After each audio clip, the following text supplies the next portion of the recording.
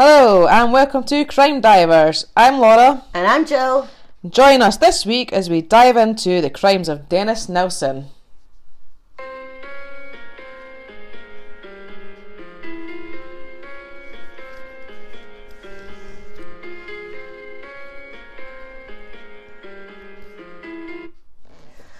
Hello. Hi there, and welcome back. Um, so we'll just get right into it. Today we're go- we're covering the crimes of Dennis Nelson, who, if you haven't heard of him, is a serial killer. I haven't heard of him. She's never heard of anybody. I have heard of some, but I haven't heard of this guy. So I am very, very interested to see, well, to hear, I should say, what he did. Right. Okay. Let's go. Okay, let's go for it. Right. Um, I'm just I'll just dive into his childhood to start off with. Give it a bit of background. Okay. Dennis Andrew Nelson was born on the 23rd of November 1945 in Fraserburgh, Aberdeenshire, which is in Scotland. Nice. So he is Scottish. yeah, unfortunately, yes. Um, he was the middle child, born to Elizabeth Duthie White and Olav Magnus Moksheim, What? What Yeah. kind of names are they? who had adopted the name Nelson. Well, he was sure- nor- the dad was Nor- Norwegian. Ah, right, okay. I was, I was going to say you shouldn't just make those names up. No. His dad was a Norwegian soldier, if you'd have let me get to it. Sorry. who had travelled to Scotland in 1940 as part of the Free Nor- Norwegian Forces following the German occupation of Norway. He married Elizabeth White in nine- May 1942 and they moved into her parents' house.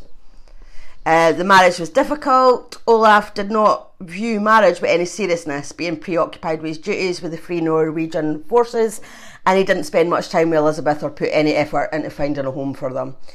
Um, the couple divorced in 1948, realising they had rushed into marriage without thinking. Dennis was really close to his maternal grandfather and would say that life was empty while he was away at sea as he was a fisherman. On the 31st of October 1951, whilst fishing in the North Sea, his grandfather died of a heart attack. In the years following his grandfather's death, he became quiet and withdrawn. He grew to resent the attention that his brother and sister got from his mother and his grandmother, and he was jealous of his brother's popularity. so he wasn't very popular then. Obviously not. Um, eventually, sorry, eventually, Nelson and his mo- his mum and his older brother Olaf and his younger sister Sylvia moved out of his grandparents' house and into a flat. She later married a builder called Andrew Scott, and they had four kids together. And they all moved to Strichen in 1955. Okay. When Nelson started puberty, he realised that he was gay, um, which at first he felt confused and ashamed. He kept that, his was that that wasn't really a thing back? Well, I know it was a thing, but I mean it wasn't talked about, was it back then? It was no quite 1955. yeah, it wasn't. Was it legal? I don't I know. don't know. because I don't know if it was it, used, it was used it used to be illegal, didn't it? I I, I don't know. Yeah, but- Um, but obviously it wasn't. a- So it wasn't something that he would really be going to shout about anytime No. soon, pretty much. He kept his sexuality a secret from his family and friends. Some of the boys that he was attracted to had similar fe- facial features as his sister, Sylvia. So he sexually fondled her, thinking that his attraction towards boys might be a mani- manif- sorry, manifestation of the care that he felt for her. That just sounds wrong. yeah, but you know, he's confused. He doesn't really know. I know, but I mean, even if you're confused, I mean, you don't look at your sister that way, surely. No, but he's trying to sort of figure out his feelings and why he's feeling that way towards boys. Hmm. So as I said, like he's trying to, th- he's thinking it, it could be just the way that he cared cared about her. It was just the manifestation of it. Oh, right. So, Like, yeah, he shouldn't have sexually fondled her, obviously. Yeah. But he was, so, he, you know, he was obviously trying to figure out his feelings and why why he felt like that. Surely there's better ways to figure that out, but Well, he, obviously he was young. He wouldn't have had anybody to talk to about it. no, I guess not. So, he also fondled his big brother while he was sleeping. Oh God. um, and Olaf, his big brother, started to suspect that Nelson was gay and would refer to him as hen in public, which, for anybody who isn't Scot- Scottish, hen is a S- Scottish slang for a female. Yeah, yeah. It's not a chicken. No. Well, it is a chicken, but It's actually I don't like it. no, hate- I don't like it, and it's uh, kind of a lot of older people use it. Yeah, see when anybody goes, they go, thanks, hen, and I'm Yeah. like, oh, it's just like cringe. I just, yeah, I, don't really, don't- like it when somebody calls me hen. It's just No, it's weird. I know. I just, I don't like it. It's not. I mean, I just, you know, not for me. I certainly don't call anybody that. And Uh, no, I, I'll never call anybody hen. That's No. as I said. Like, to, I just feel it's like old people that refer to younger people as hen. Like, yeah, it's weird. I would never call no, anybody hen. not for me. Thanks. Um, so Nelson did well at school. He left in 1961 and decided to join the army to train as a chef. He enlisted for nine years' service and started his training with the Army Catering Corps at St Omer Barracks in Aldershot. He kept his sexuality hidden and wouldn't shower with his colleagues because he was scared he would get an erection, so he bathed alone and he could masturbate in private. Too much information, but okay, yes. you know, have to get it all in there. that is a bit much information, but Um, in 1964, he passed his initial catering ex- exam and was assigned to the 1st Battalion of the Royal Fusiliers in Germany, where he served as a private. He would drink a lot to ease his shyness. Sorry, were you going to say something there? yeah, I was going to say. So he sounds like he'd, maybe sorted himself out a bit there and was going down a, a good path. Sounds like it. Yeah. So far, so good, really. yeah. Apart from the sexually fondling his siblings, Mm-hmm. so far, so good. Um, so, sorry, where was I? He, he would drink a lot to ease his shyness and he would pretend to fall unco- un- unconscious in the hope that one of his colleagues would make sexual use of his body. Um, he was also fantasizing about him having a sexual partner who would be unconscious or dead. Okay. So, he- you know, mm. he had some starting to go a bit downhill now. um, in 1967, he was deployed to the state of Aden, where he served as a cook at the Al Mansoura prison. It was quite dangerous there, and Nelson's regiment lost several men due to ambushes on the way back to the army barracks. oh, Nelson was what, once kidnapped by an Arab taxi driver who beat him unconscious and put him in the boot of his car. When he was dragged back out of the boot, uh, Nelson grabbed a jack handle and knocked the, tr- the taxi driver to the ground before beating him unconscious. So then he locked the man in the boot of his taxi. So, oh, well, serves him right. To be fair, yeah, take that. T- taste your own medicine there. Um, while he was stationed at Aden, he was still fantasising about being with a man who was either unconscious or dead, and he would masturbate while looking at his own naked body in the mirror.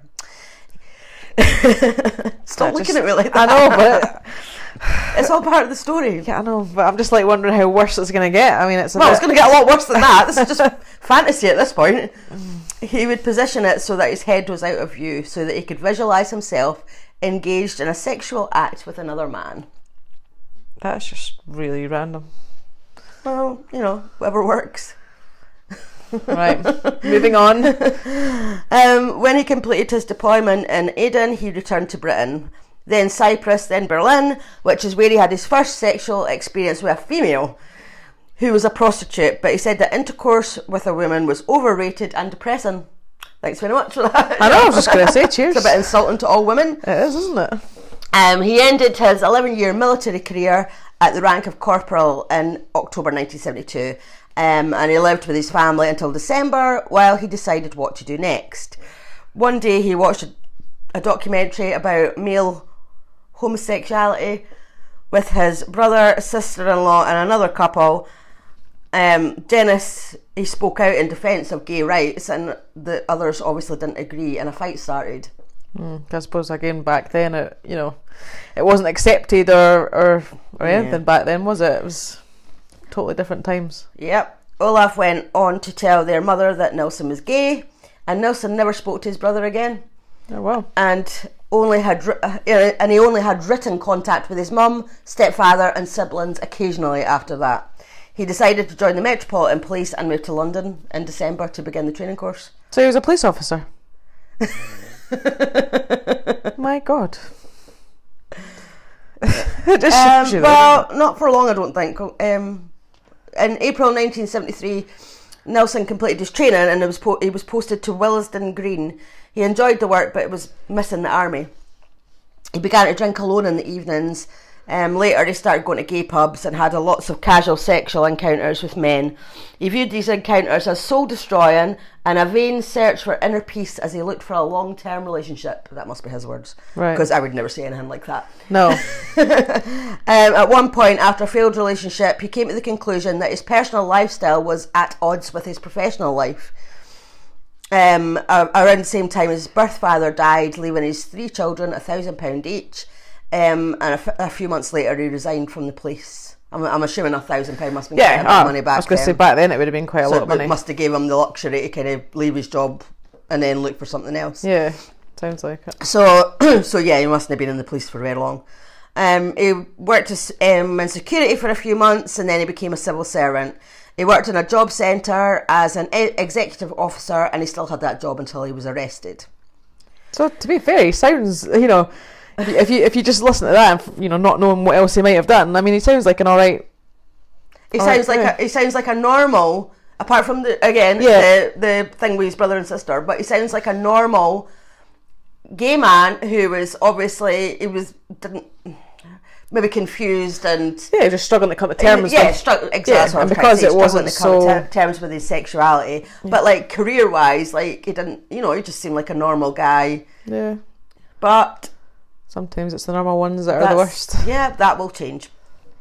Um, so in 90, um, sorry, November 1975, Nelson came across a 20 year old man named David Gal- Gallichan. And it, um, he was being threatened outside a pub by two men. Nelson intervened and took David back to his room that he rented in a house. They drank and talked. David had just. sorry, I just burped here. I, was, I was trying to keep it quiet, but then I looked at Laura and she started laughing. So I, uh, if Yeah, you heard it, I apologise. I'm not editing, so No, I was going to say we're so we're so unprofessional. Um, okay, they drank and talked. David had just moved to London and was unemployed and living in a hostel. They decided to move into a larger place together, and a few days later, they viewed a vacant ground floor flat at 195 Melrose Avenue. So they were only together for a few days. Oh, and they were moving in together. Yeah. Mm. Um, Well, you know, Nelson nego- negotiated a deal with the landlord that they got exec. eh, Can't talk. They got exclusive use of the back garden, and they moved in. what? So nobody else in that flat was allowed to use the garden. No, It's a bit harsh, isn't it? Mm, But he neg- negotiated a deal with the landlord, so maybe they paid extra rent or something to, to get use of the back garden. You'll find out why later. I was going to say, I don't know if I would uh, be happy with that though, as a as a um, tenant. Well, if you're already living there, then somebody else comes along and says, "Oh, by the way, um, you know, you're not allowed to use the garden anymore." yeah, I'd be like, well, I'm not paying as much rent then. Who knows? Um, so Nelson was sexually attracted to David, but they hardly ever had sex. After a year, the relationship started to become a strain. They slept in separate beds and they both began to bring home casual sex partners. In May 1977, Nelson threw David out. He had a few flings over the next 18 months, but nothing ever lasted more than a few weeks. And by late 1978, he was living a solitary existence, just going to work and drinking and listening to music at night. Okay, are you ready? This is where wow, is this where it gets really dark? this is where it gets dark. Okay. So, Stephen Holmes met Dennis Nelson on the 30th, 30th of December 1978 in the Cricklewood Arms pub. Stephen had tried to buy alcohol, but as he was only 14, he was refused. What the heck is he doing in a pub at 14? I have no idea. Um, Nelson invited Stephen to his house, promising him more alcohol, well, well alcohol and music. He apparently apparently thought he was about 17. right. Um, they drank a lot and fell asleep. The next morning, Stephen was still asleep when Nelson woke up. He didn't want to wake him in case he left. He started running his hands over Stephen and over Stephen and decided he was going to make him stay over the new year, whether he liked it or not. Oh, that doesn't sound good. Nope. So he grabbed a tie and he strangled Stephen into unconsciousness before drowning him in a bucket of water. That's Yeah, this is nice. Nelson masturbated twice over Stephen, then put his body under the floorboards. that's just horrible. The bound corpse was left there for nearly eight months Oh my god, the smell. before Nelson bought, built a bonfire in the garden uh, behind his flat and burned it on the 11th of August 1979. Right. So that's first murder done. That's just. I keep I mean, forget. I, I- forget that you actually don't know this story. So No, I know. I I have no idea what's coming, so I'm like, well, what's going to happen? So, um, on the 11th of October 1979, Nelson attempted to murder a student from Hong Kong called Andrew Ho. They had met in a pub and went back to Nelson's house for sex. No, Nelson tried to strangle Andrew, um, but he managed to escape and he reported it to the police. Nelson was questioned, but Andrew decided not to press charges, unfortunately. Why would you not? Who knows? If only he had. I know. There might be a different. Things might have been different, yeah. yeah, for the, you know. So on the 3rd of December 1979, Nelson met a 23 year old Canadian student called Kenneth Ocken- Ockenden, um, who was visiting. You're getting challenged with these names today, aren't you? I do apologise if I'm pronouncing anything wrong. um, so that, um, yeah, he was, he was visiting relatives in England. And they met in a pub, and Nelson offered to give Kenneth a tour of London. Nelson then invited Kenneth back to his house for a meal and drinks. Once there, Nelson strangled Kenneth with the cord of the headphones as he listened to music. Then he poured himself a glass of rum and continued to listen to music on the headphones that he had just used to murder Kenneth with. My god. How sick. Very. Although I, always think that the, the like you know killers like that they, they just like they like they go into another world or something like where they just zone out and you know that, that he probably didn't think uh, anything of oh I've just killed him with that but I'm just gonna I want to listen to some music like You'd have to be very cold, wouldn't you? To funnily enough, I actually watched last night. I was looking at on YouTube, mm-hmm. and I typed in Dennis Nilsen, and there was this very short. I mean, it was literally like a few minutes long, but it was actually an interview with Dennis Nilsen. oh really Um, and all I could think was, I mean, as I said, it was only a couple of minutes, but all I could think was, he he just looked dead behind the eyes right and he just spoke so matter of factly about the fact because he was talking. I think he was he was talking about chopping bodies up. Oh, sorry, I haven't- got to that bit yet. ruin the story oh my god sorry, spoiler alert. Yeah thanks Um, for that. but yeah, the way that he was talking about it, it was just as if he would just. Um, what as if he'd been chopping up his uh, chicken for his tea or something yeah, that's that's exactly what it was like. So yeah, you um, you'd have to be very cold. Yeah. to do that. So, uh, so after he'd murdered Kenneth, the next day Nelson uh, bought a Polaroid camera and took photos of Kenneth's dead body in various suggestive positions. I hate to think, I, I don't even want to think. Um, he then wrapped the body in plastic bags and put it under the floorboards. On four different occasions, they took the body out and seated it on the armchair next to him as he watched the TV and drank alcohol. But so he buried him under the floorboards, but then occasionally took him out and sat the. Oh my god! that's- Yeah, um, I can't remember who said. Somebody had said. I don't know if it was him or a, one of the survivors. Like um, that.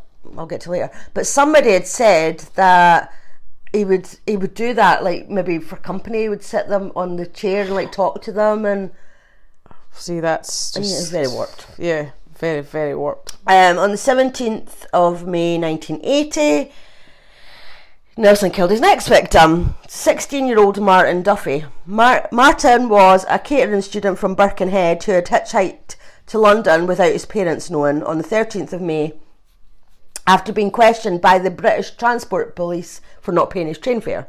For four days, Martin had slept off near Euston Station um, before Nelson came across him when he was coming home from a conference in Southport. Martin was exhausted and starving and accepted Nelson's offer of a meal and a bed for the night. After Martin had fallen asleep in Nelson's bed, Nelson strangled him, then dragged him into the kitchen and drowned him in the sink. He then had a bath with the dead body. What he actually had a bath. With, yeah. Really? Is it, is it almost like he wanted a relationship, but just not with a living? Not by a living person, Yeah, yeah. it's like I mean, go and get a teddy or something. I don't know. I don't know. Go and get a teddy. well, it would be better. I know, but I mean, if you want company and and well, I mean, you, see if we ever bring any, any merch out, we're gonna they're gonna get a T-shirt with "Go and get a teddy" on it. if you feel lonely, go and just go and get a teddy. I know, but if you're saying that you know, you obviously want preferred the company with like not a living thing, then I don't know, stick a teddy on the blooming chair, and that's just as well. It's not the same. I don't think a teddy has genitals. Because he obviously like that as well. well, all right, but it's, I don't know. Can we move on? Yeah, I think, I think we should because that. Yeah, um, So yeah, he, so yeah, he'd had a, a bath with a dead body. Um, Martin's body was then put on a kitchen chair, then on the bed. Uh, Nelson kissed the body and stroked it before and after masturbating while sitting on the stomach of the corpse. oh, this is just disgusting. Sorry.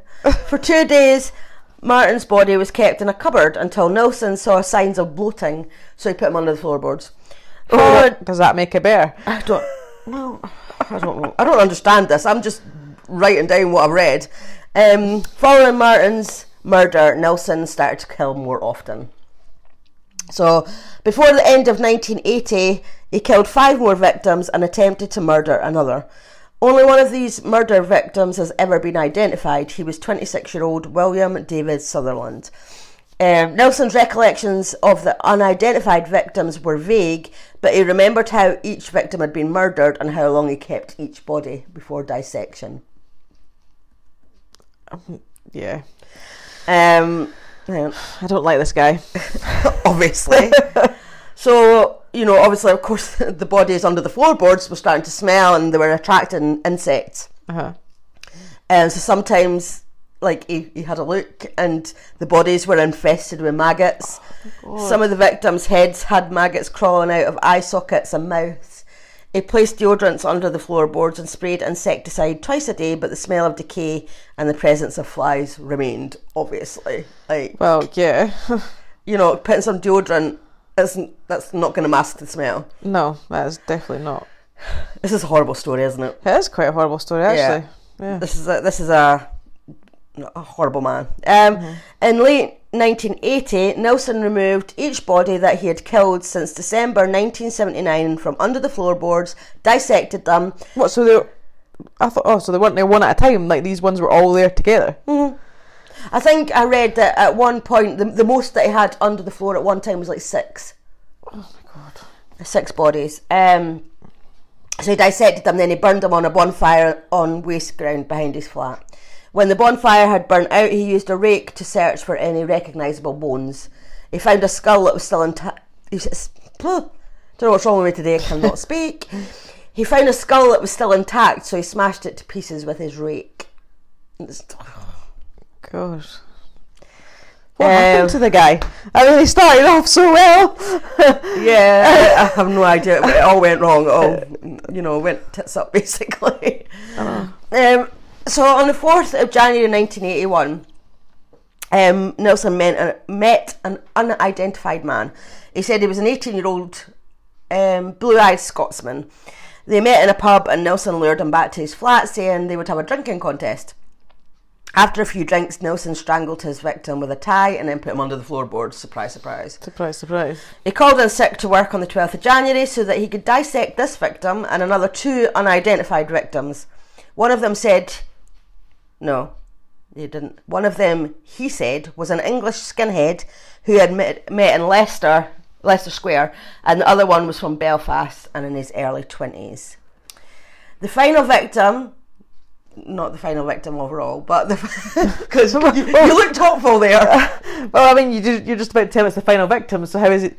The final victim to be murdered at Melrose Avenue. Oh, right. Okay, you didn't finish your sentence. Then. No, no, no, no, because you looked hopeful. I know. I was thinking, yes, the story is almost over. No, the final victim to be murdered at Melrose Avenue was 23-year-old Malcolm Barlow, who Nelson found slumped against a wall outside of outside his home. Of, I'm sorry, I'm really sorry, I can't talk today. Yes, you're not doing well. I'm not doing well. Right. Deep breath.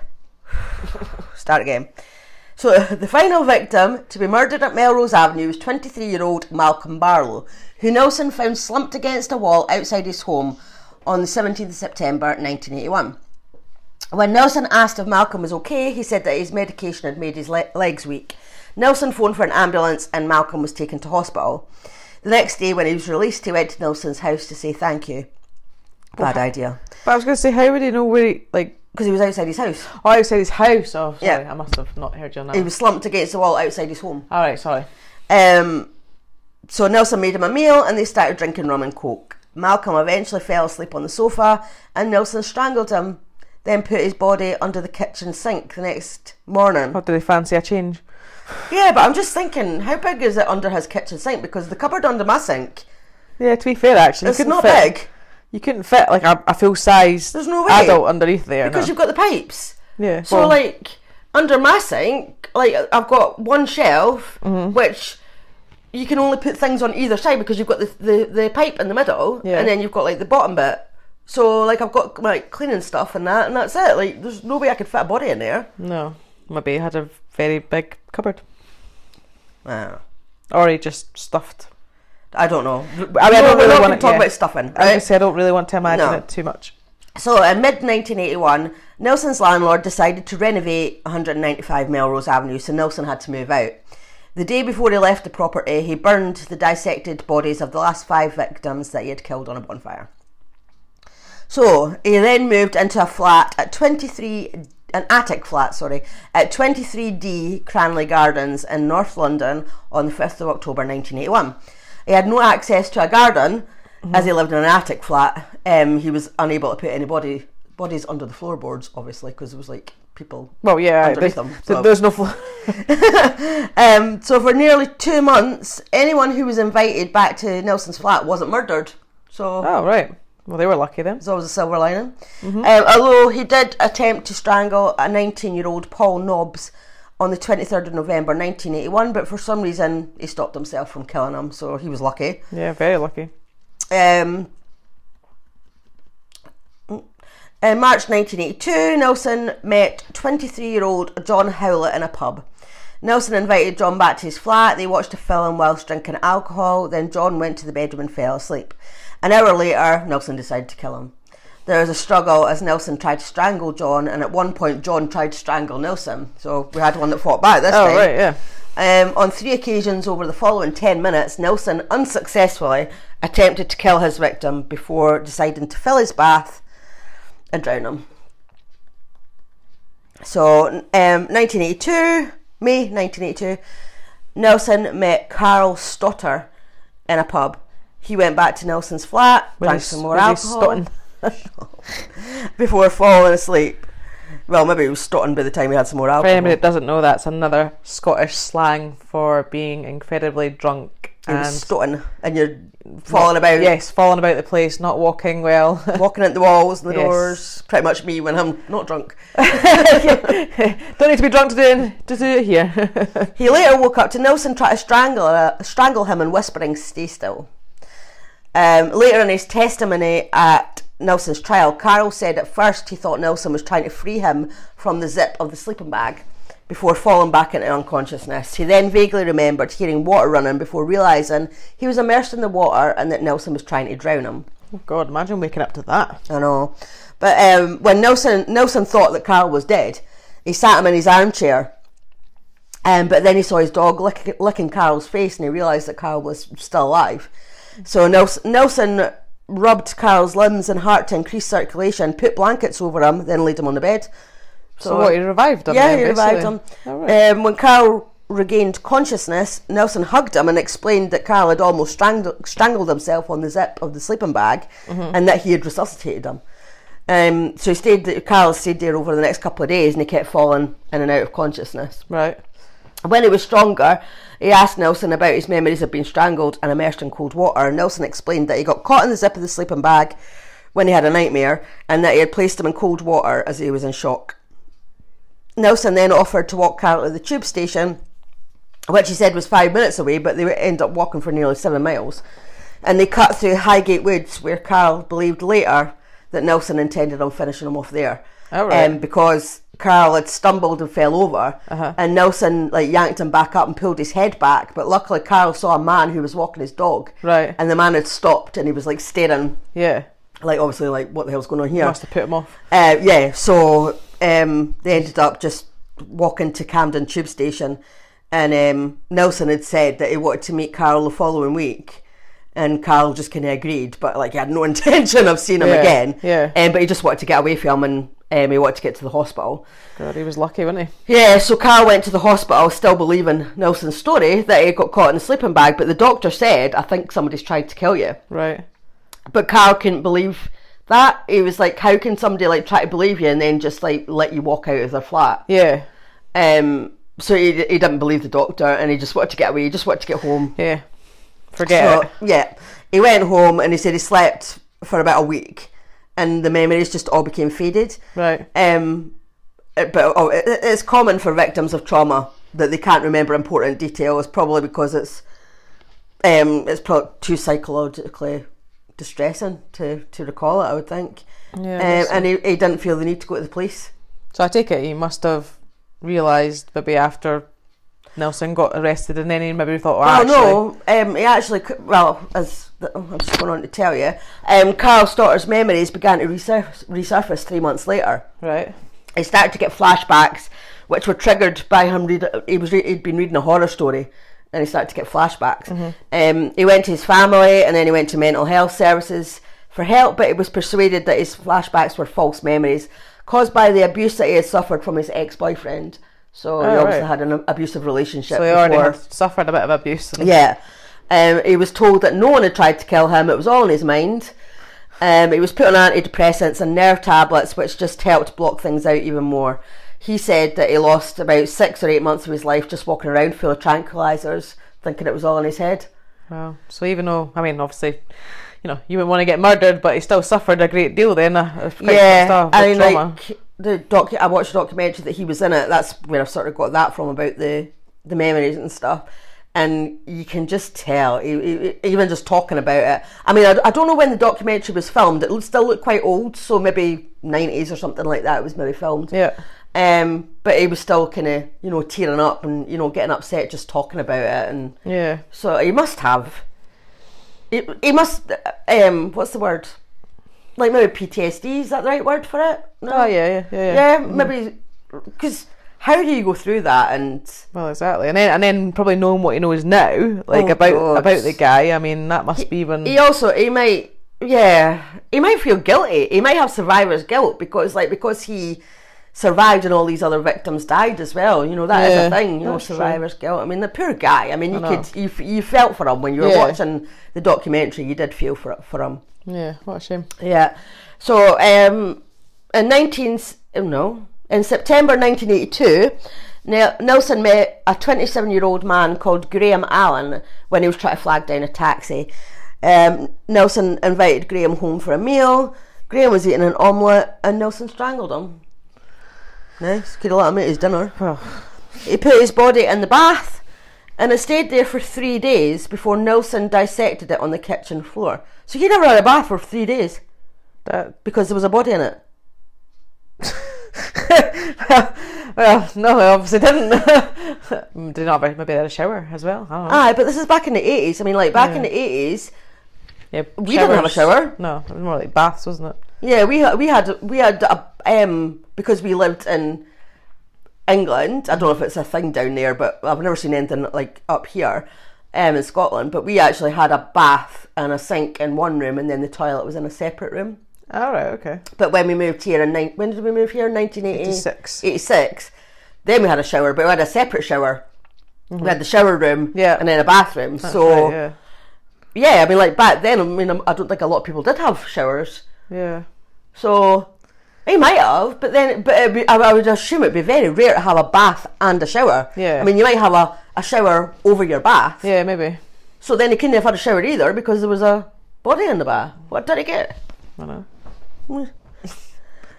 Um, on 26th of January 1983, Nilsen killed his final victim, 20 Are you sure this is the final victim? Well, according to this, yeah. I mean, there might be others. I don't know. um, his final victim was 20 year old Stephen Sinclair. Stephen had fallen asleep in an armchair at Nilsen's flat after taking drugs and drinking alcohol. Nilsen strangled him and then put him in the bath and washed him, and then put him on the bed and lay next to him naked and fell asleep. When he later dissected the body, he stored parts in wardrobes and drawers. He attempted to, d- to dispose of the uh, flesh, internal organs, and smaller bones of all three victims killed at Cranley Gardens by flushing them down the toilet. Um, and as he had also done at his previous address, he boiled heads, hands, and feet to remove the flesh of these sections of the victims' bodies. That's just vile. It is uh, uh, like like you must have a really strong s- stomach to actually be able to do that. Well, as a, going back to the very short interview that I watched last night, he said that. Um, sorry, I've lost my train of thought there. What was it? About the documentary you watched last night. Yeah, he said that he would drink. He would have to drink um, when he was uh, dissecting the bodies or you know whatever he boiling, whatever he was doing, and then he would maybe go off and outside and be sick, Right. and then come back. So it did affect him. Yeah. But clearly not enough to stop him from doing it. Um, so, on the 4th of February 1983, Nilsen wrote a letter of complaint to estate agents complaining that the drains were blocked. So, a Dyno-Rod employee, Michael Cattran, arrived on the 8th of February in response to the complaints of Nilsen and other tenants. He opened a drain cover at the side of the house and discovered it was packed with a flesh like substance and small bones. So he reported it to his supervisor, Gary Wheeler, but as he had arrived at the property quite late in the day, they decided to investigate further the next morning. Right. Before leaving, Michael Cattran had a conversation with Nilsen and another tenant called Jim Alcock about the substance. When Michael said it was similar in appearance to human flesh, Nilsen said, It looks like someone has been flushing down their Kentucky Fried Chicken. That's a bit of a random description, but okay. So the next morning, Michael Cattran and his supervisor Gary Wheeler returned to Cranley Gardens at seven thirty. Um, and uh, but the drain had been cleared. Right. Oh. Michael discovered some bits of flesh and four bones in a pipe leading from the drain, which linked to the top flat of the house. Surprise, surprise. Surprise. Yeah. That's where Um, to both men, the bones looked like they had came from a human hand. Right. Um, they called the police and they found more small bones and bits of flesh in the same pipe. They were sent to the mortuary and it was confirmed that the remains were human. Yeah. So the police waited outside the house until N- Nilsen came home from work. As soon as they entered his flat, they could smell rotting flesh. I hate, I, I hate I mean, how think. could he actually even live with that though himself? I mean, again, like because it smells. It. used to it. Oh, I mean, I've, I mean, I've, never, smelt. I've, Yeah. yeah. I've never smelt rotten flesh, but from you know the stories and people's accounts of it, it obviously Well- isn't a very nice smell. So Yeah, when you see like maybe on TV and stuff like that, you see people like being sick and like you know yeah, passing out because it's that bad. So to actually live with that, I have no idea. no, Um, at first, Nilsen acted surprised when they told him the train the drains were blocked with human re- remains, but he was told by the police, "Don't mess about. Where's the rest of the body?" so they obviously were thinking Yeah. it is something to do with you. Yeah. Nilsen then told them that the remainder of the body could be found in two plastic bags in a nearby wardrobe. He was then asked if there were any other body parts to be found, to which he replied, quote, It's a long story, it goes back a long time. I'll tell you everything. I want to get it off my chest, not here, at the police station, end quote. So he was arrested on suspicion of murder. right. Bit time. I was gonna say yeah, about time. Um, later that day, uh, the police removed the plastic bags from the wardrobe and took them to the mortuary. One bag had two dissected torsos in it, and a shopping bag contained various internal organs. The second bag had a human skull in it with almost no flesh on it, a severed head, and a torso with arms attached, but the hands were missing. Oh my god, Uh, that is both, awful. I know. Both heads were found to be, to have been subjected to moist heat. So I'm assuming that's because he was boiling them. Right? Yeah, yeah. Hmm.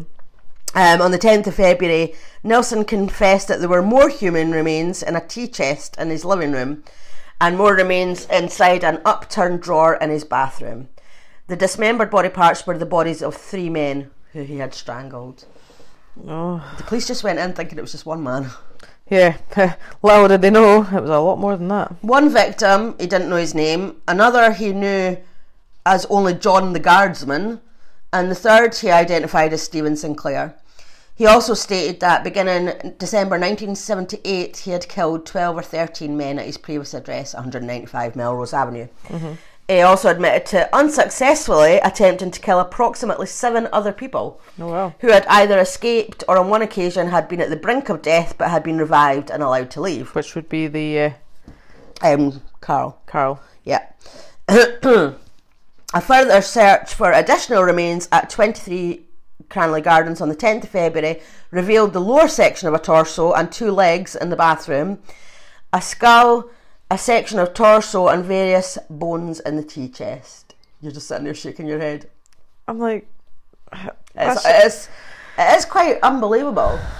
no, it's awful. Yeah, it's just. How can you live with like just random body parts lying about your house? Well, I know it's like it's, it's like it's just part of your furniture, and it's like no, it's, it's, it is absolutely awful. I mean, it was a monster. yeah, really. yeah, absolutely, definitely was a monster. Um. So the same day, Nilsen went with the police to his previous address at Melrose Avenue, where he showed them the three places in the back garden where he had burned the remains of his victims. Investigators discovered over a thousand fragments of bone from the garden, many of them blackened and charred by fire. So, under English law, the police had 48 hours in, either, in which to either charge Nilsen or release him. Um, putting together the remains of the victims killed at Cranley Gardens on the floor of the mortuary, Professor Bowen was able to confirm that the fingerprints on one body matched police files of Stephen Sinclair. Right. So at 5:40 p.m. on the 11th of February, Nilsen was charged with Stephen's murder. Just one murder. Aye, so far. Um, police interviewed Nilsen on 16 separate occasions over the following days, which totalled over 30 hours. When he was asked what his motive for the murders was, he just said, quote, I'm hoping you will tell me that, end quote. I don't know how he expected anybody else. Well, I was just gonna say, how do they know?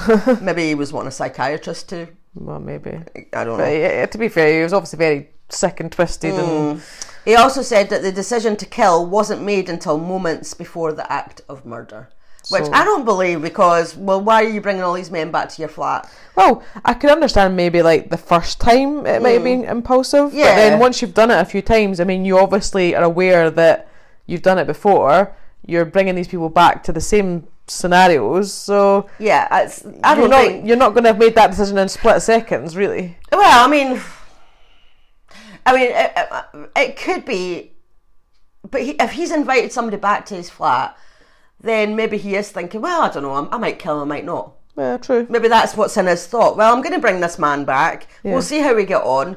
And then I might kill him or I might not. But if he knows that he might kill somebody, then he shouldn't be inviting them back to his Well, flat. exactly, because he's putting himself. So to me, the intent's still there. That because he's putting himself in that situation Yeah. where he knows that there's a possibility that it could happen. yeah, exactly. So, So even if he hasn't quite fully made up his mind, there's- yeah, you know, that exactly. he obviously knows that there's a, you know, a chance that he might do it. So no, he should, well, but then clearly he wanted to do it because he kept doing it. So, um, and then what if, this is him telling him that once the victim had been killed, he typically bathed the victim's body, shaved any hair from the torso, then applied makeup to any obvious blemishes upon the skin. The body was usually dressed in socks and underpants, and he talked to the corpses. Oh, I knew I'd read that somewhere. Um, he would he would often masturbate next to them, but he never penetrated them. He said his victims were, quote, too perfect and beautiful for the pathetic ritual of commonplace sex, end quote. When asked why the heads found at Cranley Gardens had been subjected to moist heat, Nilsen stated that he had boiled the heads of his victims in a large cooking pot so that the internal contents evaporated and he wouldn't have to dispose of the brain and flesh. Is that really what happens? Not that I really feel What, that I need to what, know you're asking me like because that's what I do. No, no, but I didn't know that that's what happens. I didn't know that It your- must do. your bra- so your brain would evaporate. Is that what we're saying here? well, yeah, that's what he's saying. Whether it's whether that's just what he thought Maybe. or whether that's actually what happens. yes, remember we're know. not scientists, so that's not scientifically proven. But If you want to know, just Google. Yes. The, um, the torsos and limbs of the three victims killed at this address were dissected within a week or so of their murder, then wrapped in plastic bags and put in the three locations he had told the police. He had flushed the internal organs and smaller bones down the toilet. This was the only method he could consider to dispose of the internal organ, organs and soft tissue, as he had no exclusive use of the garden like he had at his previous address. Right. He was asked if he had any remorse for his crimes, and he said, quote, I wished I could stop, but I couldn't. I had no other thrill or happiness, end quote. He also said that he took no pleasure from the act of killing, but worshipped the art and the act of death. Okay. That just sounds. So, here's a quick rundown of the victims in order. Uh huh. right? So, in 1978, there was um, the 30th of December, Stephen Holmes, age 14, uh, strangled and drowned in a bucket of water. His body remained beneath Nilsen's floorboards for over seven months before being disposed of on a bonfire. Stephen was the only victim not to have been dissected before disposal Right. and his remains were identified in November 2006. So, 1979, the 3rd of December, Kenneth Ockenden, aged 23, but the, another report said he was actually 26. Um, a Canadian student strangled with headphone wire while listening to music. 1980. So there, there was a bit of a gap between those because um, the first one was the 30th of December 1978, and then the next one wasn't until the 3rd of December the following right, year. So that's nearly a year. And then 1980, that was from December to May, so that was a few months. Um, was um, the 17th of May was Martin Duffy, age 16. He was strangled and drowned in the kitchen sink, and two days later placed beneath the floorboards. And then the same year, the 20th of August, William Sutherland, aged 26. He was a father of one, originally from Edinburgh, who worked occasionally as a male prostitute. Um, Nilsen couldn't remember exactly how he had murdered William, other than he strangled him, and in the morning there was another dead body. So he must have been really drunk. Yeah. Um, this is the same year again, September, unidentified. All that Nilsen could remember about his fifth victim was that he was an Irish labourer with rough hands who wore an old suit and jacket and thought, and he thought he was between twenty-seven and thirty. He later said he had made this one up. Oh. So All right. who knows? Um, Octo- the next month, October, um, unidentified. His sixth victim was a male prostitute, aged between 20 and 30, and was either Filipino or Mexican, according to Nilsen. Right. The following month, November, unidentified. Um, Nilsen said this victim was homeless and he found him sleeping in a doorway at the top of Charing Cross Road. He was skinny, pale, and had missing teeth. Nilsen took him home and strangled him Lovely. um, November or December, unidentified. Um, Nilsen described him as an English long-haired hippie, between aged between 25 and 30. Um, this victim's body was kept beneath the floorboards of his flat until Nilsen removed the corpse, cut it into three pieces, then put the dissected remains back beneath the floorboards. He burned the pieces a year later, but he later complained to me. He claimed to have made that one up as well. So he's made some of these up. So Well, from what I'm sure that was actually in the, in that short interview as well. I'm sure he said something. I couldn't quite understand him. Right. Even though he's Scottish, I couldn't really Oh, really? understand. Was quite- The sound wasn't that great. right. Um, and I think he said that because he'd said to the police in the police car on the way to the police station that he thought he'd murdered round about I don't know what he'd said, sixteen or seventeen or something like that. Mm-hmm. That he just kind of made these up to round up the, the number, where, where it's yeah. actually less than that. But, Right. So who knows? I mean, how can you trust Well, yeah. a murderer? I guess if, if there's quite a few unidentified and you've burnt the remains and stuff, I mean, I guess you're never really going to truly know the the, the Mm-hmm. true amount. So then we're on to January of 1981. So it's, basically, it's been like every month. Yeah. Um, the 4th of January, unidentified. Nilsen said this victim was an 18 year old blue eyed Scot who wore a green tracksuit top and trainers. The body of this victim was dissected on the 12th of January. February, unidentified. Nilsen didn't remember much about this victim except he was originally from Belfast. Was slim, about 5 foot 9, was in his early 20s. He was strangled and placed beneath the floorboards. April, unidentified. Nilsen described him as a muscular English skinhead who was about 20. He had a tattoo on his neck saying cut here. Nilsen hung this victim's naked torso in his bedroom for 24 hours before placing him beneath the, the floorboards. But again, he claimed to have made that one up. Oh right, okay. But it's a bit strange that he had that detail of he hung Yeah. the naked torso in his bedroom. Like, So I take it like none of these victims that he's given a description of were never. yeah, that's what I'm saying. Uh, unidentified. Yeah, so they were never. They've not been identified. Still haven't been Still haven't been identified. Yeah. identified. So people that had had missing family members or whatever, they've never been matched up to. Right. Um, 18th of September, Mal- Malcolm Barlow, aged 23. This was the final victim to, call- to be killed at Melrose Avenue. Before Nilsen dis- dissected his body, he had put him in a kitchen uh, cupboard as he had run out of space under the floorboards by this time. Cool. Uh, the next year, 1982, March, John Howlett, aged 23. He was strangled as he slept in Nilsen's bed, with Nilsen shouting, It's about time you went. As John awoke to find himself being strangled, he then drowned him in the bathtub. Nilsen dismembered the body, flushed portions of flesh and internal organs down the toilet, and put various large bones out with the rubbish. September, Graham Allen, Allen even, aged 27. Graham was a father of one, originally from Motherwell, another Scottish one. Um, he was strangled while eating an omelette. His body was identified from dental records and healed fractured, fractures to his jawbone. Dissected portions of flesh and small bones from the body of Graham blocked the drains at Cranley Gardens. Following year 1983. We're getting there. We're nearly finished. Please stop. 26th of January, Stephen Sinclair, aged 20, was Nilsen's final victim. right. Um, he strangled him. The head, upper torso, and arms of Stephen were kept in the tea chest in the living room, and his lower torso and legs were kept underneath the bathtub. So, on the 11th of February 1983, Nilsen was officially charged with the murder of Stephen Sinclair. He was transferred to Brixton Prison to be held on remand until his trial. He objected to wearing a prison uniform whilst on remand. He said he was going to protest by wearing no clothes, so he wasn't allowed to leave his cell. Oh, so he just was naked all the time then. So- right. Oh, he obviously didn't like being on remand. Right. Um, on the 1st of August, he threw the contents of his chamber pot out of his cell, hitting some of the prison officers. So, yeah, that was nice. Lovely. He was f- found guilty of assault on prison officers on the 9th of August and spent 56 days in solitary confinement. Right. 56 days, that's quite a lot to be in solitary. Yeah, 'cause Yeah. that's what. That's nearly That's a bit Two month- months. Nearly two months, Yeah, yeah. nearly two months. Yeah, that's a long time just to be, well, on your own, sitting in Mm. a room with nothing to do. I'd imagine. probably when he clears on. Well, yeah.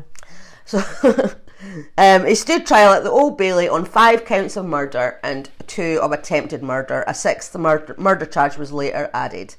Initially, he had intended to plead guilty to each charge of murder. His solicitor had fully prepared his defence, but five weeks before the trial, Nilsen decided to hire someone else instead who advised him to plead not guilty by diminished responsibility. All right. So the primary dispute between the prosecuting and the defence counsel was not like whether Nilsen had committed the murder, but the state of his mind before, during, and after the murders. Right. Okay. Um, the prosecuting counsel, Alan Green, argued that Nilsen was sane, in full control of his actions, and had killed with premeditation, which, yes, I agree with that. Yes, I definitely agree Um, with that. The defence counsel, Ivan Lawrence, argued that Nilsen suffered from diminished responsibility and should be convicted of manslaughter instead of murder. No, don't agree with you, Ivan Lawrence. No, I do not agree with that. Um, the prosecution counsel opened the case for the Crown by describing the discovery of three dismembered bodies in Nilsen's flat, his arrest, his confession, him leading investigators to where he had burned the other bodies at Melrose Avenue, and how he had tried to cover up his crimes. In the closing speech, it was told that Nilsen had asked, he was asked at the police station if he needed to kill. Um, his response was, quote, at the precise moment of the act, meaning the murder, I believe I am right in doing the act, end quote. Very strange man, Yeah, isn't that he? is very strange. And he added that quote, the the Crown says that even if there was mental abnormality, that was not sufficient to diminish his responsibility for these killings, end quote.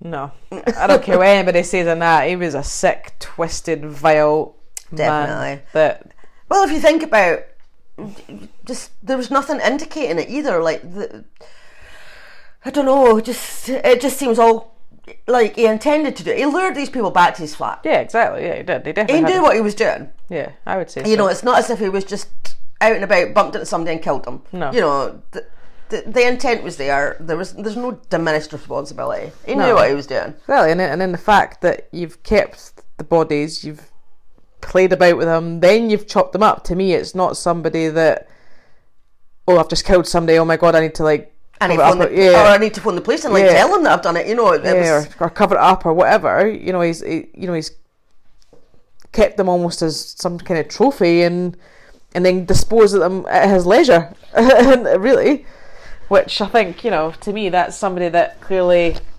I'm not saying I don't know if enjoys the right words, but certainly I don't know liked it enough to do it over and over again.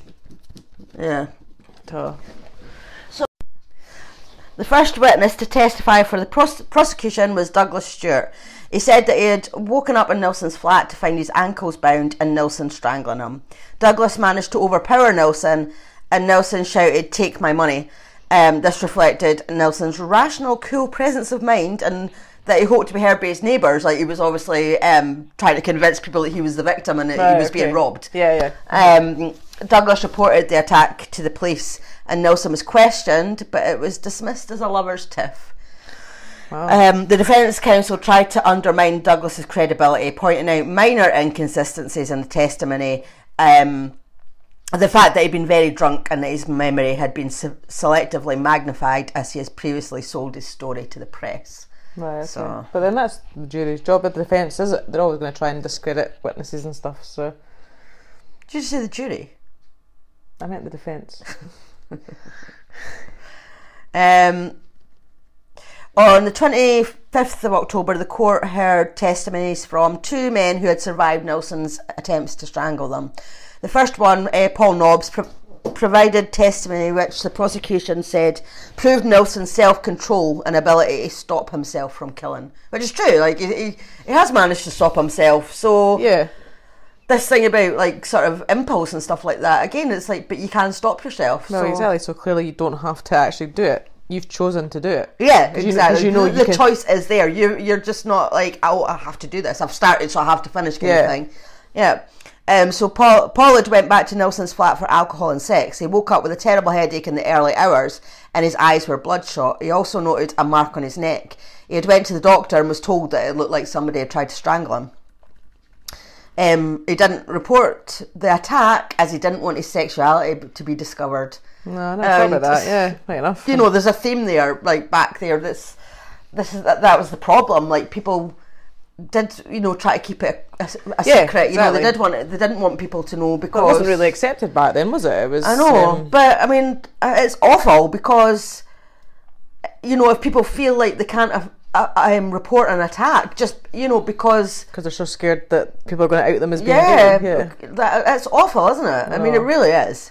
I mean, phew, each to their own. Like, just, you know, you should be able to just. It's, you should. Well, love is love, as they say these Well, days. yeah, exactly. You know, but obviously back then it was all different. I know. At least I, I'd like to think that, that these days that people wouldn't be scared to report a crime because of their sexuality. Yeah. But I I don't know. mean, Unless you're in that position, I guess it's hard to yeah, to know what, what you would do. I know it's just horrible. Like that. Yeah. You know, just say you should be able to love whoever the hell you want to love, and Oh, you shouldn't be ashamed of it or Definitely not. have to keep it a secret or whatever. No, but back in those days, it was a very, very different world. Yeah.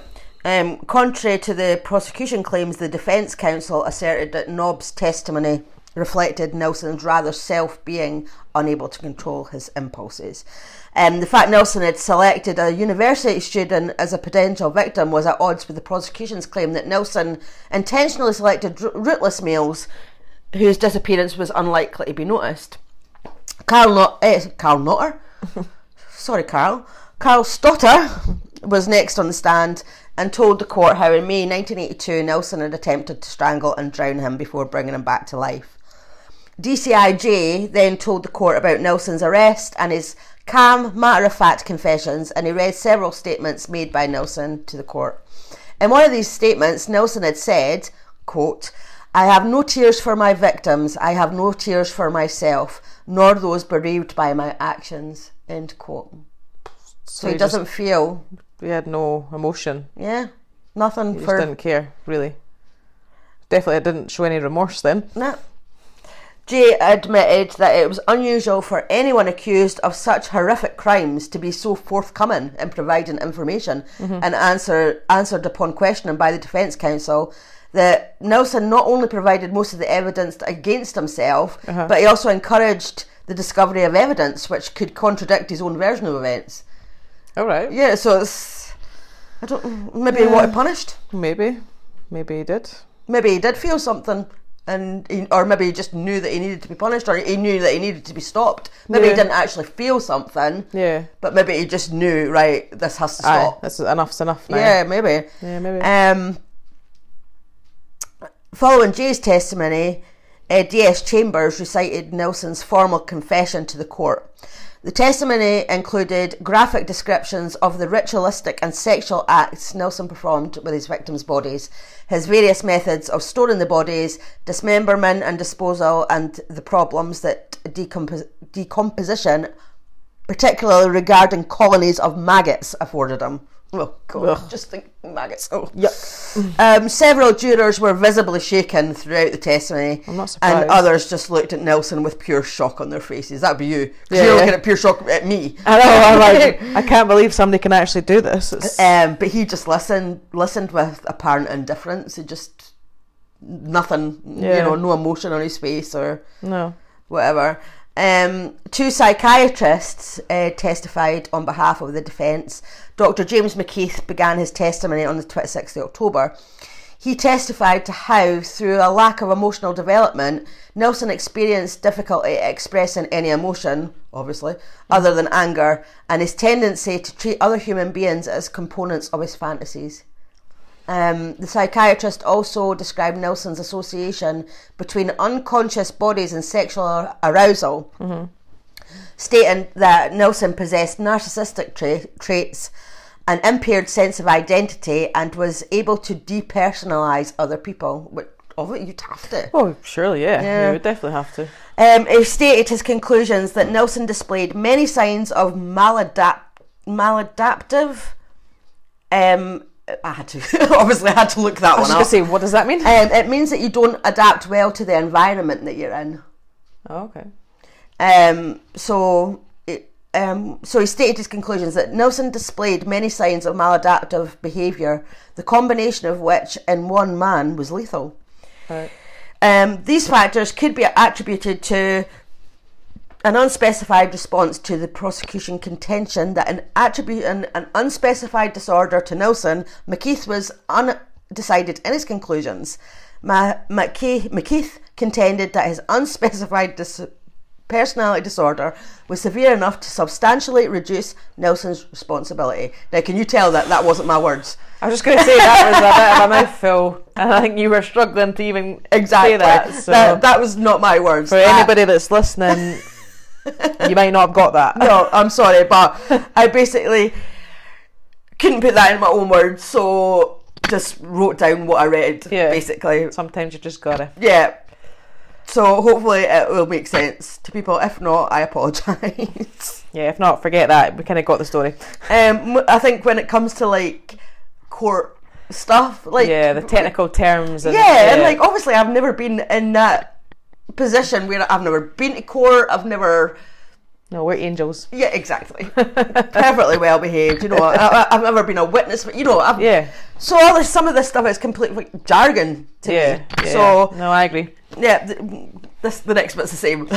Okay, so prepare yourself, everybody. This could At least be. I'm honest. Yes. At least I am honest. I'm not true. claiming to have written this myself. No. So the second psychiatrist to testify for the defence, Dr. Patrick Galway, diagnosed Nels- Nilsen with a borderline false self, as if pseudonormal narcissistic personality disorder with occasional outbreaks of schizoid disturbances that Nilsen managed most of the time to keep at bay. Okay. Sort of got that. No idea what that means, but I okay. sort of got it. He can keep his stuff like tendencies, maybe the Yeah, he, he can manage it. Most of the time, he can manage it. yeah. Um, Galway stated that in episodic breakdowns, I'm sorry, just like um, Nilsen became predominant, predominantly schizoid, acting in an impulsive, violent, and sudden manner. Galway further added that someone suffering from these episodic breakdowns is most likely to disintegrate under circumstances of social isolation. This Wow. is hard. This is hard work. Yeah, Jesus. In effect, Nel- Nilsen was not guilty of malice aforethought. So that's what one psychiatrist is saying. And to me, that's like, so he's saying that he, like, not get malice. Like, so he's saying that he was not guilty of thinking it all out, like Yeah. Well, yeah. premeditation, basically. Don't, don't like that. no, don't think I agree with that, Doctor. No. Um, upon cross examination, Alan Green largely, largely focused upon the degree of awareness shown by Nilsen and his ability to make decisions. Galway agreed that Nilsen was intellect- intellectually aware of his actions, but stressed that due to his personality disorder, Nilsen did not appreciate the criminal nature of his actions. See, I don't agree with that. Mm. I- He did appreciate the criminal nature of his actions, I think. Mm-hmm. That's my opinion. Mm-hmm.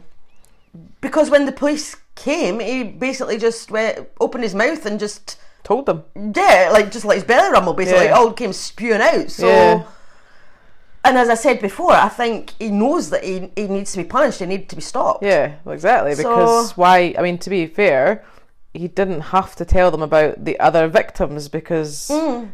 You know the ones that are unidentified, the ones that he burned. I mean, he could have probably just He could have just denied yeah, a lot of the- stuff, yeah, you know. exactly. So But he he was must very have. forthcoming, as they said. Um, So he must have. You know, he's obviously aware that he has. Well, of course, done very, very wrong. yeah, so I think he did appreciate the criminal nature of his actions. Like, yeah, yeah, I would say more yeah, so that. That's than- obviously than just not. our opinion, but Yes, of course. Um, on the 31st of October, the prosecution called Dr. Paul Bowden to, dis- to disprove the psychiatrist who had testified for the defence. Could have put us on the stand, we could have done that. I know. I um, told you that after hearing that story. Prior to Nilsen's trial, Bowden had interviewed the defendant on 16 separate occasions and interviews totaling over 14 hours. Over two days, Dr. Bowden d- testified that he found Nilsen to be a manipulative person who had been capable of forming relationships but had forced himself to o- objectify people. Bowden fou- further testified he found no evidence of maladaptive behaviour and that Nilsen suffered from no disorder of the mind. See, now I agree, I agree with that doctor. Yeah, from hearing the story, to me it sounds like he was fully aware of what he was doing. You know, he was manipulative. Mm-hmm. Yeah. You know, the, the whole objective thing. I mean, the fact that he had them like sitting in chairs and stuff like that. Yeah, I totally agree Yeah. with that opinion. I totally agree with that. So, following the closing arguments of both the prosecution and the defence, the jury retired to consider their verdict on the 3rd of November 1983. The following day, the jury returned with a majority verdict of guilty on uh, six counts of murder and one of attempted murder, with a unanimous verdict of guilty in relation to the attempted murder of Paul Nobbs. Um, Dennis Nilsen was sentenced to life imprisonment with a recommendation that he serve a minimum of 25 years imprisonment. Oh, really? Yeah. Oh, no. I, I just do not get these punishments. No. Um, And then if he's on, if he like, uh, well, I was gonna say if good behaviour. I mean, maybe if not, if if he got to serve a minimum. But you know, sometimes these people get sentenced to a certain amount and then they're out, and sometimes half that Yeah. time because of good behaviour or whatever. Yeah. But I, I mean, mean- to me, he doesn't deserve to be out. Like he does not deserve to ever have a chance of freedom ever again. Definitely not. Life No. should mean life. Yeah, in that don't- case, yeah, definitely. Um, he was sent to Wormwood Scrubs to begin his sentence. As a Category A prisoner, he was assigned his own cell and could mix freely with other inmates. In December 1983, Nilsen was cut on the face and chest with a razor blade by an inmate called Albert Moffat, resulting in injuries needing 89 stitches. Um, afterwards, he was briefly transferred to Parkhurst Prison, then Wakefield Prison, where he remained until 1990. In 1991, he was transferred to a vulnerable prisoner um, unit, and, um, and oh, I've written down until it should have been unit. I Vulnerable Prisoner Unit at Full Sutton Prison because there were concerns for his safety. He remained there until 1993, where he was transferred to Whitemoor Prison again as a Category A prisoner um, and with increased segregation from other inmates. So people clearly got wind of what he'd done, and Yeah, or maybe they just didn't like him. well, that's true. yeah. Um, the minimum term se- um, of 25 years to life imprisonment to which Nilsen was sentenced in 1983 was replaced by a whole life tariff All right. um, okay. by Home Secretary Michael Howard in December 1994. right. This ruling made sure he would never be released from prison. Good. So, I'm yeah. glad about that. In 2003, uh, Nilsen was again transferred to HMP Full Sutton, where he remained incarcerated as a Category A prisoner. In the prison workshop, he translated books in Braille. He spent much of his time reading and writing and was allowed to paint and compose music on a keyboard. He also exchanged letters with numerous people who wrote to him. Why would you write to him? Serial killers have fans. Really? Yeah. Like, No, I I- mean, the likes of, like, you know, like Ted Bundy and things like that, they do, they Yeah? have fans, yeah. Oh my god, that's sick. Yeah. um, he remained at HMP Full Sutton until his death on the 12th of May 2018. Oh, Nail so he only died a couple of years ago then. Yep. He died in his cell. He was in excruciating pain for hours with internal bleeding. Oh, good. yeah, he deserved that. Sorry, yeah. but he did. Uh, no, not sorry, actually. Um, two days before that, he had been taken to hospital with abdominal pains. Right. He had an operation, but later suffered a blood clot. Mm-hmm. He spent his final hours lying in his own filth as he suffered a ruptured abdominal aortic aneurysm. Well, as bad if it sounds bad, but I have no sympathy. Right, so basically that that was the episode finished. But Uh-huh. Last night, as I said, I was on YouTube Uh-huh. and I watched a documentary, and it was called "Surviving Dennis Nilsen." I think that's what it was called, and it actually had Carl Stott- Stottor. Uh-huh. Um, he was on it. Um, as I said before, like that's how he, I could see he was upset. Blah, Yeah. blah, blah. But get this, he had a boyfriend. What? he had a boyfriend? Yep. Okay. so uh, this is the little extra bit that I wrote last night. Uh-huh. Um, he met this guy called Martin Hunter Craig in May 1979. right. Um, Martin was 19. He was drifting in uh, jobs in people's beds as he was homeless. So he was just going from guy to guy, you know. Right, okay. Um, they went for drinks. Um, Nilsen invited him back for coffee. This was actually not long after he'd killed his first victim, so that's Right, how so far back it was. Right, so he'd already killed somebody. Yeah, he'd already killed one person. Mm-hmm. Um, they spent the night together, and then they started a casual relationship, which actually lasted right up until Nilsen's arrest. So I wonder why So, so they. why was he different then? I mean, why I have no idea. why was he not know, Well, he said on the documentary, he said that he just stood up to him. Um, you know, like he didn't put up with his shit basically, and Yeah. you know he would answer him back. He would. I don't know. I mean, I don't know. Um, but when Nilsen moved to Cranley Gardens, he asked Martin to move in with him, but Martin refused. He said he didn't love him.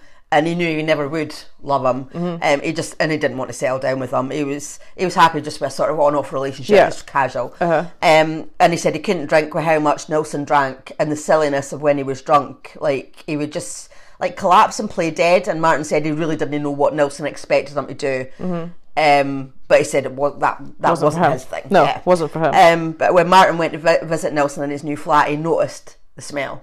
And he actually said to Nilsen, that, se- that smell seems to follow you about. You know, it was at Melrose Gardens. and Yeah, It's uh-huh. here now. It's like a really musty smell. Uh-huh. And he said Nilsen just laughed it off. But little did Martin know he was actually surrounded by body parts. Yeah. Um, and four days before Nilsen was caught, Martin had went went went to his flat, and he actually interrupted him, trying to dispose of his last. Mm-hmm. Oh my god, really? Yeah, uh, he said it had taken Nilsen a while to answer the door, Mm-hmm. and when he did, he was flustered and like told Martin he couldn't come in, which was unusual because he was he was always happy and welcoming. Like every time Martin Yeah. went, you know. he- Well, there'd be no, normally no reason why why Yeah. he wouldn't come in the house, yeah. Um, so Nilsen said Nilsen had said he was too busy and things had gone wrong that day. So I, I don't know what that meant. I don't Uh-huh. know what went wrong Yeah. because he hadn't been caught yet. So. Yeah. Um, but just at that moment, like uh, Nilsen's dog had crept through his legs and like ran down the stairs. Right. So he asked, he said to Martin, you know, mind the door so that the door didn't shut and lock them out. Yeah. Um, so so Martin just held the door open while he went and got the dog. Uh-huh. But it's lucky Martin didn't go into the flat because he would have probably seen the body and Nilsen might have killed him. You know, Oh, if yeah. he'd seen yeah, because if it's seen too much, he might have been like, right, Yeah. I need to kill you now. And um, like Mar- but poor Martin, I mean, he had a hard time after Nilsen's arrest because the pre- the press hounded him. Mm-hmm. Um, ba- basically, there was a guy. Um, I think he said it was like from was it ITN News or something like that. Right. Had just been going around the pubs and things like that, just like interviewing anybody that may have came across Mm-hmm. Nilsen. And he, um, Martin, actually spoke to him, so he was on the news. Right, okay. Um, and because obviously he was gay, that he was outed as Yeah. being gay, Uh-huh. and so the the press they they weren't very nice to him. You know, they saw being gay as taboo. Uh-huh. Um, and he, you know, at this time, Martin had said that him and his fam, I mean, his family knew that he was gay, but they wanted to keep it a secret. They Mm-hmm. Yeah, right, want okay. people knowing, you Yeah. know, as we know about that time. Uh-huh. Um, so yeah, so he had to put up with that. You know, we've been outed Right. and the press not being very nice about him and like sort of demonising him and things like that. And because he'd been in a relationship for so long with Nilsen, they implied that he was involved. Yeah. So he had like no clue. He had no clue whatsoever. I mean, Wow.